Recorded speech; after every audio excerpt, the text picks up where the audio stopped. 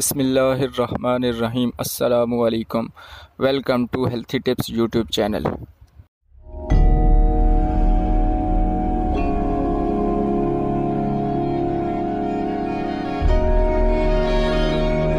احتلام کیا ہے؟ جب آپ سو رہے ہوتے ہیں تو آپ کے اندر کی طبیعت فاسد اور گندے خیالات کو کسی بھی جانی یا انجانی شکل میں آپ کے سامنے پیش کر دیتی ہے۔ جسے خواب میں دیکھ کر آپ اس کی طرف مائل ہو جاتے ہیں۔ چونکہ نیند کی حالت میں آپ کی عقل کام نہیں کر رہی ہوتی، تو آپ کو انزال ہو جاتا ہے، جسے احتلام اور میڈیکل کی زبان میں نوکٹرنل ایمیشن کہا جاتا ہے۔ احتلام کی اقسام۔ احتلام کو دو اقسام میں تقسیم کیا جاتا ہے۔ نمبر ون، احتلام طبعی natural nocturnal emission. Number two, احتلام غیر طبعی ان نیچرل نوکٹرنل ایمیشن۔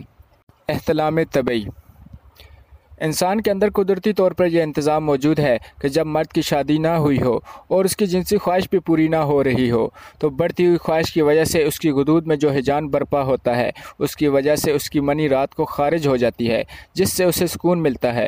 یہ قدرتی عمل ہے تاکہ مرد کی خواہش اس کو بری طرف نہ لے جائے۔ یہ احتلام مہینے میں دو مرتبہ ہو سکتا ہے۔ اگر آپ ایک صحت مند انسان ہیں اور آپ کو منتھ میں دو یا تین مرتبہ احتلام ہو جائے تو یہ پریشانی کی بات نہیں۔ اور نہ ہی اس کے لیے کوئی علاج کی ضرورت ہے، بلکہ یہ آپ کی صحت کے لیے اچھا ہے۔ احتلام غیر طبعی اس احتلام کی ایک اہم علامت مردانہ کمزوری ہے۔ تھوڑے تھوڑے وقفے بعد احتلام ہونے لگتا ہے یعنی ویک میں چار یا پانچ مرتبہ لگاتار ہوتا رہتا ہے اور کبھی کبھار ایک ہی نائٹ میں دو یا تین مرتبہ ہو جاتا ہے۔ احتلام نیند اور نیم بیداری کی حالت میں دن اور رات دونوں میں ہو سکتا ہے۔ کچھ مریضوں میں ایسا بھی ہوتا ہے کہ احتلام تو ہوتا ہے مگر منی خارج نہیں ہوتی، بلکہ ٹیسٹز یعنی مسانے میں چلی جاتی ہے اور جب بندہ پیشاب کرتا ہے تو اس میں خارج ہوتی ہے۔ ایسی حالت میں پیشاب کا رنگ ملکی وائٹ ہوتا ہے، یہ علامت مردانہ کمزوری کی ہے۔ آخری علامت یہ ہے کہ جب مریض صبح اٹھتا ہے تو اسے سر درد، تھکاوٹ، سستی اور سیڈنس محسوس کر رہا ہوتا ہے۔ پورا دن وہ افسردہ رہتا ہے اور کسی بھی مینٹل اور فزیکل ایکٹیویٹی میں بھرپور طور پر حصہ نہیں لے پاتا۔ احتلام کا علاج اور ٹریٹمنٹ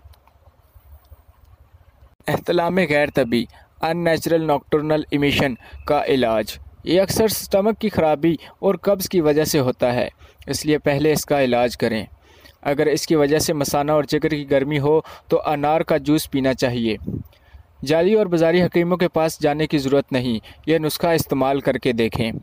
تخم جوز مسل تخم کہو فل فل سیاہ، گل نیلوفر اینڈ پوٹاشیم برمائڈ یہ تمام چیزیں دس گرام لے لیں۔ کسی بھی پنسار سے آسانی سے مل جائیں گی۔ اب ان ساری چیزوں کو باریک پیس لیں اور خالی کیپسول لے کر بھر کر رکھ لیں۔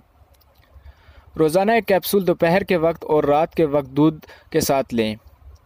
اگر اس کے استعمال سے منہ اور ہونٹ زیادہ خشک محسوس ہونے لگیں تو دودھ کی مقدار بڑھا دیں۔ انشاءاللہ جلد افاقہ ہوگا۔